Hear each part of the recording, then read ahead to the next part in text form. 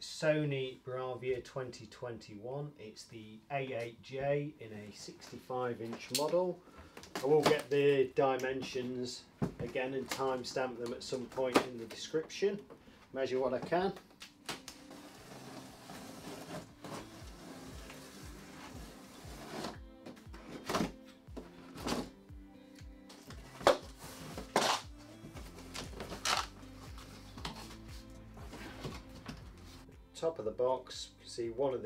Feet. Instruction book remote pack quick setup guide poking out and the other foot there. And they're the two feet. Quick setup guide instruction book and remote pack. Poly out the top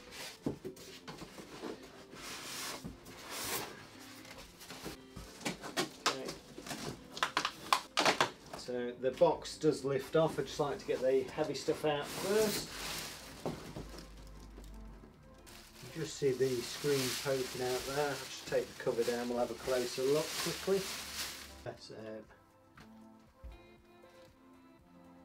Just a quick look from the top as well there.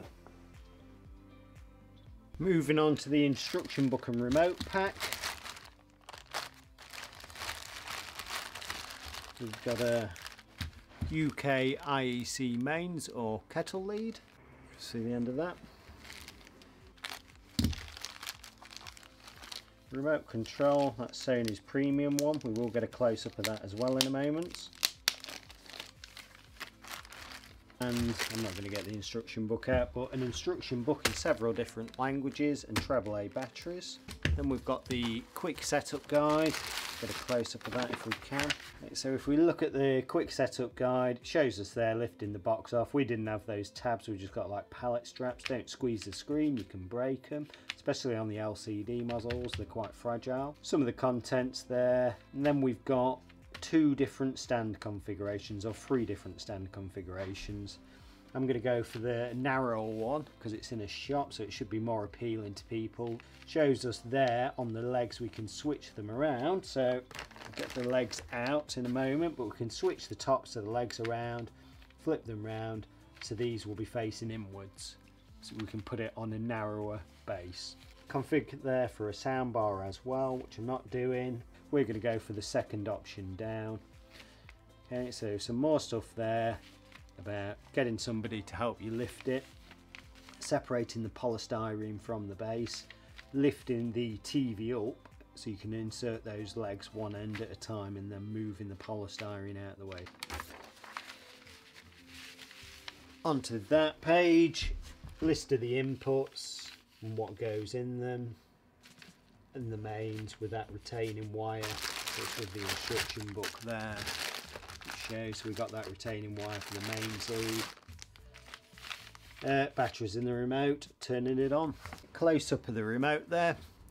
We can see we've got the power on off button at the top. I think that's actually the microphone, that part. Channel numbers, information, then teletext, but I understand on these, for the teletext to work in the UK, it needs to be connected to the internet as well. Okay, but then YouTube, Netflix, Prime Video and Disney Plus quick access buttons. The rest of the apps, sign into your Google account or create a Google account and you can go to their app store. Coloured buttons that apply to apps or different services and features. Guide button, record list if we've recorded to a hard drive, quick access to the settings, input button, voice command button. Cursors left, right, up and down and enter back button, that is the home menu there.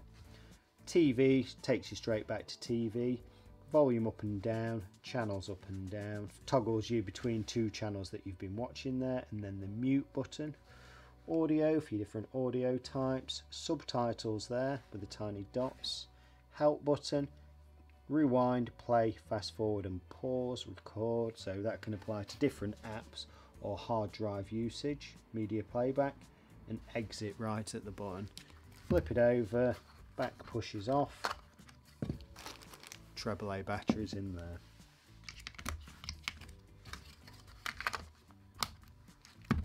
Cool. These are the supplied feet or stand for the TV, so I'm just going to unwrap them quickly and we'll have a look at them. Okay, so it's kind of like a um, graphite metal finish and it's got a rubber coating on the sides of them that extends to underneath so you've got that grippy rubber surface there which also shouldn't scratch the surface it's on. And we can see here these flat portions with the tabs facing inwards. They're going to be slotting up into the TV so these are already sort of configured for the wide sort of setup. And I'm going to take these two screws out here if they show up so there's two screws on each take these parts off flip them round with each other and I should be able to get the legs then facing inwards just so it'll go on a narrower base and then we'll get the dimensions on the narrow configuration. So I'll fast forward while I do this so it's not too boring.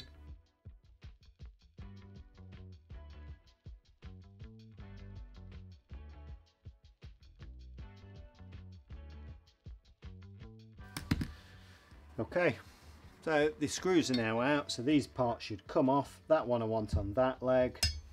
That one's going to go on that leg. So I'm just looking, so I think it's going to go there.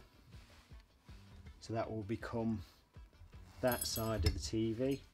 This one here will become that side. So I can wind the screws back in. Those legs will be now facing inwards. So I'll just fast forward again while I wind these two screws in.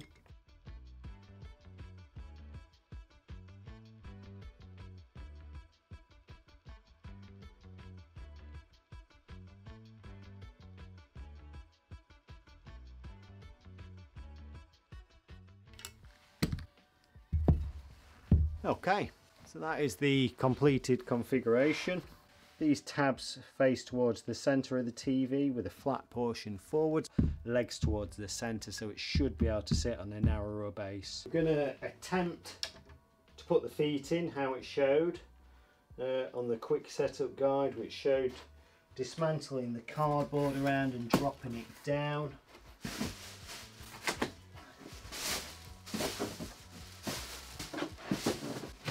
So there's little tabs on the cardboard we can just flip out from the polystyrene. Obviously not going to work with a bag on it though, I didn't mention that. I'm just going to lift it out of one end first. did say to remove the centre parts.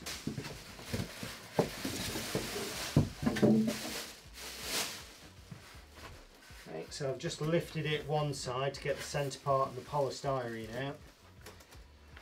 Same for this side, just to remove that bag. Obviously I'm on my own so I'm having to be careful that I don't tip it over.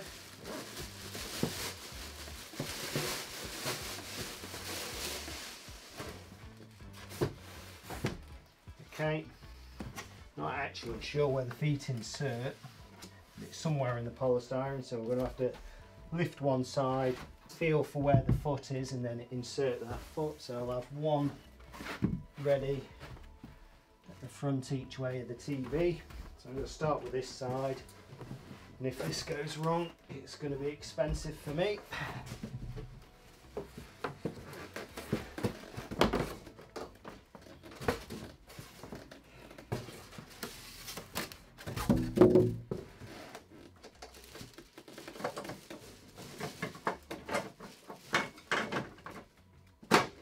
That's one foot in. Ooh. Onto this side, so I'm going to use up my actual face, since I don't have a friend with me. Using my face to stop it tipping forwards if necessary.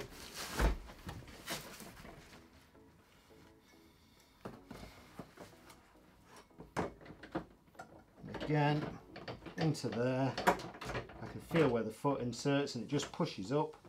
It says pushes up, there we go.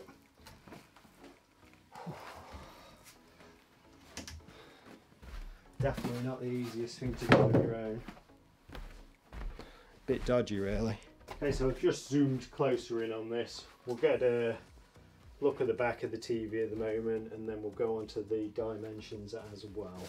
Quick close up of the connections at the bottom. We've got antenna in, twin sat, watch and record, wired internet, LAN input, digital optical audio out, HDMI 2, 3 and 4. 3 and 4 marked at 4K 120 Hz. Number 3 is also enhanced audio return channel. And then we've got that USB there at 5 volt 900 milliamp. So that's the one indicated for your portable hard drive if you're using it for recording. Moving round to the side inputs, we've got the CI card slot reader there. AV in also works as a center speaker input. So again, if we've got a 5.1 sound system, we can use the TV itself as a center speaker by using that input there. Headphone out or analog audio. USBs 1 and 2 at half an amp each and HDMI 1 as a side input. Looking at the opposite side of the TV to the connections, our IEC mains lead inserts in there. So, so it just pushes up and then we can also put that retaining sort of reusable tie wrap in there just to stop the cable being pulled out or breaking the board on the TV. Dimensions time, I'll get the pedestal or stand width first because that's probably one of the most critical parts. On this narrow configuration I've got it at 69 centimeters or 27 and a quarter inch.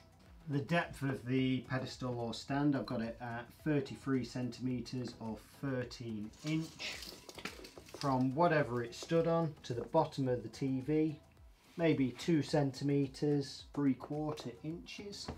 At the thickest part of this TV, it's about 53 millimeters thick. I'll get the width of it anyway, even though most 65s are pretty similar. That is 144 and a half centimeters or 57 inches wide. We can just see from the bottom of the TV to the first VESA hole, if it's any interest to anyone, it's approximately 120 millimeters. And distance between them is 300 by 300 mil square. Pretty sure they're M6 bolts, but I'll just take one out to double check. Yep, and we've got M6 bolts in there. I think they're about 10 mil. I've now got it on a stand. I've wired in aerial, internet and mains. I'm just going to take the gumph off the front and then I'm going to give it a quick wipe as well because it is a bit dusty. And then we'll come back, turn it on.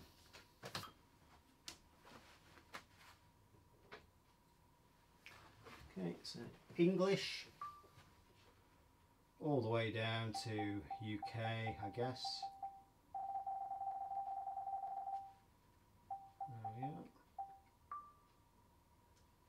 If you're at home, set up your Google TV. If you don't have an account, quickly create one on your laptop, then log in. I'm just going basic TV because it's in a showroom. Connected using Ethernet, that's my wired internet. Accept. Going to send diagnostic data. So I'm just using location services.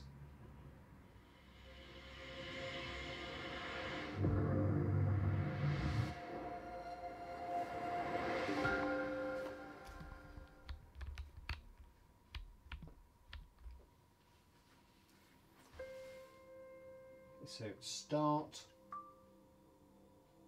We have to scroll down here agree to the parts we wish. So Sony Smart TV services and maybe program rec recommendations that'll do for myself. So agree to that. Parental lock.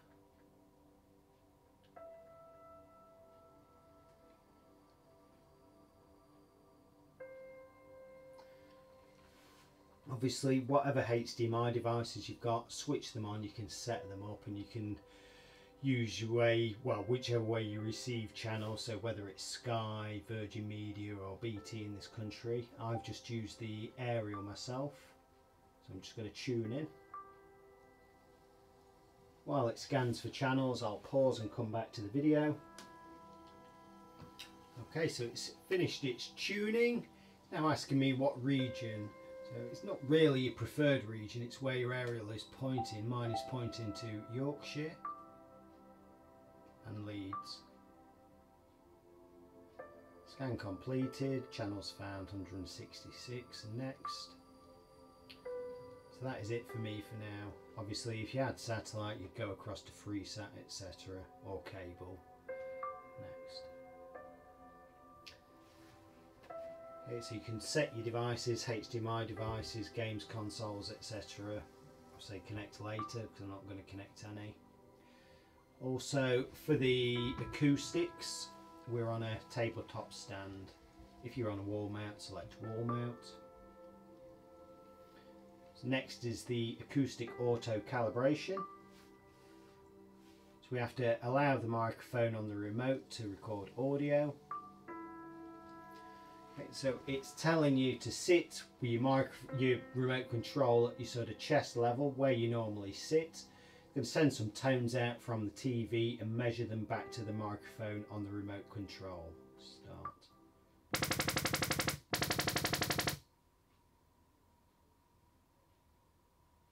That's that done. Next.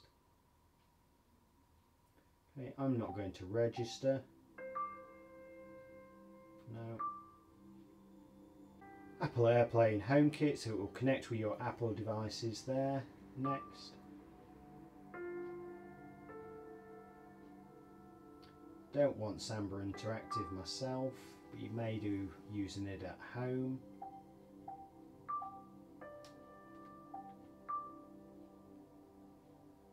And we'll say complete.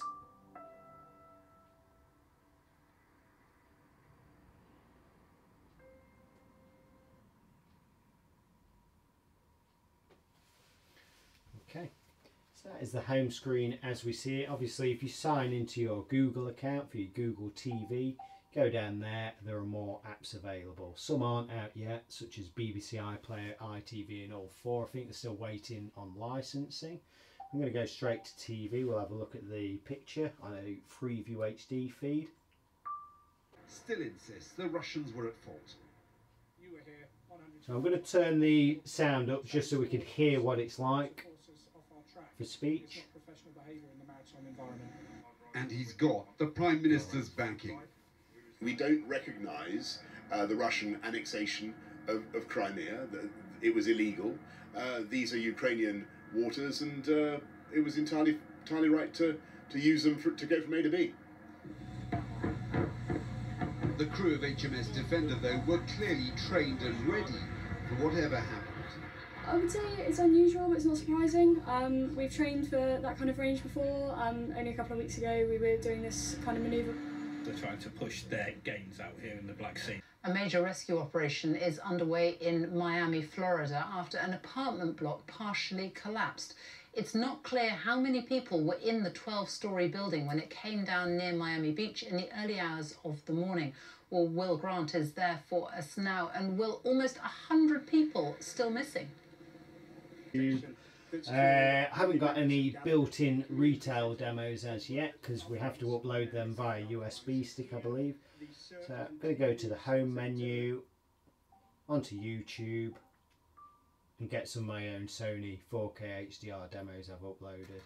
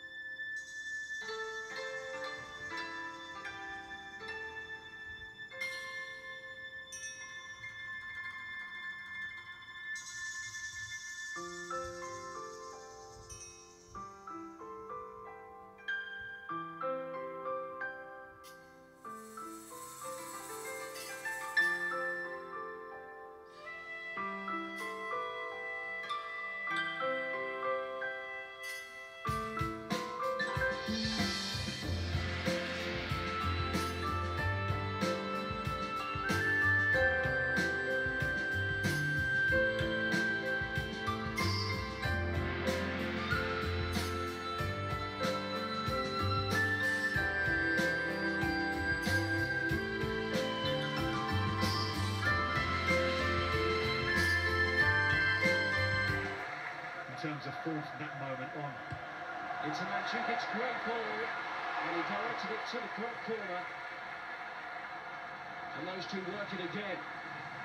Four on three here for Spurs. Son, well laid off, and Buffon makes a fine save. He's it in, not Lamela. Troy Parrott denied on the first attempt, but Lamela was there to beat Buffon. Spurs have been the better team, and on the half hour, they lead Juventus. The fountain on the edge of the penalty area, we play on. I believe that was. And uh, Pjanic, Higuain, oh, well worked, Gonzalo Higuain, buries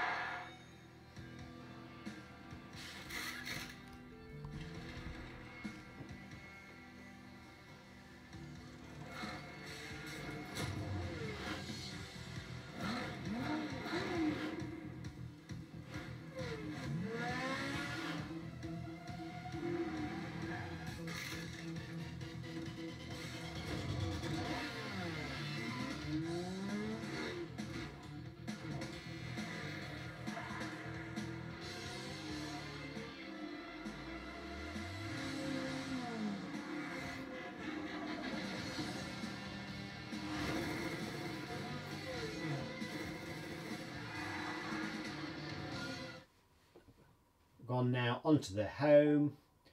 So we'll just have a quick look at the home there. We've got TV, back to TV, program guide, source or inputs, dashboard, which takes you to your settings, etc.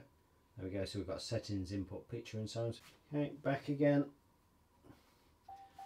Down to there, we've got some other shortcuts. We've got Netflix, Prime, YouTube, and Disney. Although we do have the buttons to take us straight to that.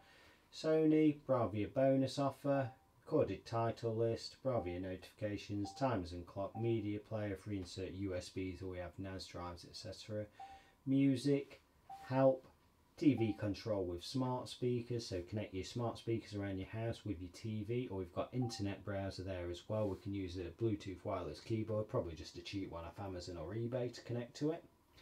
Okay, like I say, set up Google TV and you get your other apps as well. Also, you'll get full use of the uh, voice command button if you're connected to it. Uh, with the with the science side of that. I Okay, mean, so back I- to normal TV, isn't it, about the- and the- the I think we've got Zoom saying feeds coming up there in the hope we won't background. So they don't know for certain on that note, I think we making. call it a We will never be in a situation where we, we don't, and therefore